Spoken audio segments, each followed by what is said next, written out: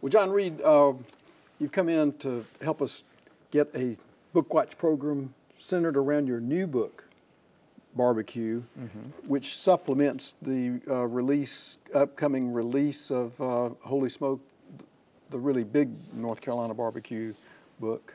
And so, um, as as we're holiday seasons approach, um, is, can you think of anything you do barbecue wise for yeah. for the yeah. for holidays? Yeah, people ask, is barbecue holiday food? And you just asked me that.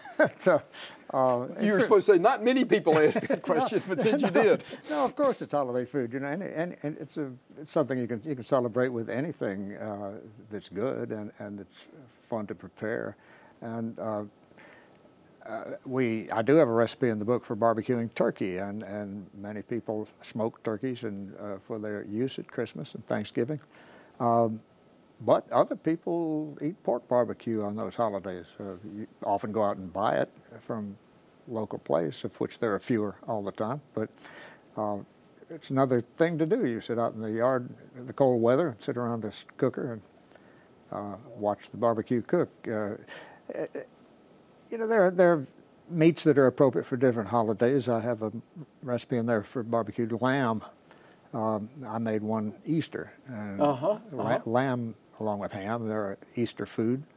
And that, incidentally, was absolutely amazing. It's the best lamb I've ever had. I don't say that just because I cooked it. Well, now what about the barbecue turkey? You mentioned smoked turkey, and then we think of uh, fried turkey now, and as yeah. well as the regular sort of baked turkey. Right. And is is the barbecue turkey superior in any respect to that? I, I like smoked turkey because I because I like smoke. you smoke smoked turkey or barbecue turkey? Well, I mean, you barbecue it and it infuses it with smoke, if, unless you're doing it with gas, which which case it's not barbecue, if you ask me. but uh, you know, I think the fires of hell are stoked with gas, but that's another story. Uh, uh, anyway, um, the barbecued turkey, it's hard to cook because uh, it's too easy to underdo the legs or over, overdo the breast, you know. So is there? Can you do something to well uh, tackle that? I talk about that in the book. The the cheating way to do it, it's not cheating way, is to inject the breast with uh, with melted butter or something like that.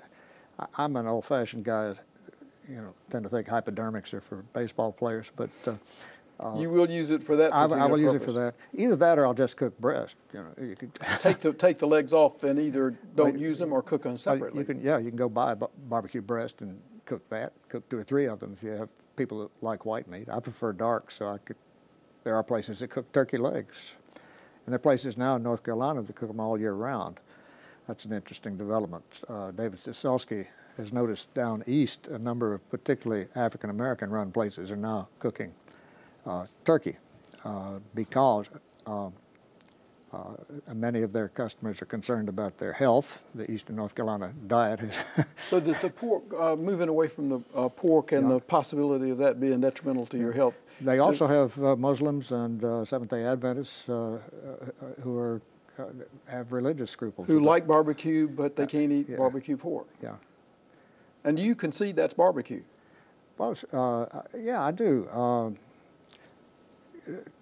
it's not just barbecued turkey. I would call it turkey barbecue, but that's because they chop it and season it with an Eastern North Carolina sauce, so that it's uh, it's, and they do it for religious reasons.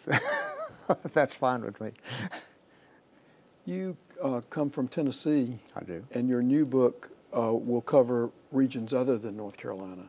Is is the barbecue you grew up with in Tennessee different from North Carolina barbecue? Well, I come from East Tennessee, and the bizarre thing about East Tennessee is there really isn't an indigenous barbecue tradition there. Caught between Memphis and Lexington. Yeah, well, well we you know we, we make good hams, but uh, barbecue, not really. Uh, there there is now uh, sort of Upper East Tennessee barbecue tradition, but it was brought in from Alabama by somebody in 1948. Well, well you deal with some of these complexities in the yes. in the new barbecue, which is a cookbook, and I'm excited about the possibility of talking to you about it for North Carolina Book Watch. Thanks for coming by. Thanks for having me, DG.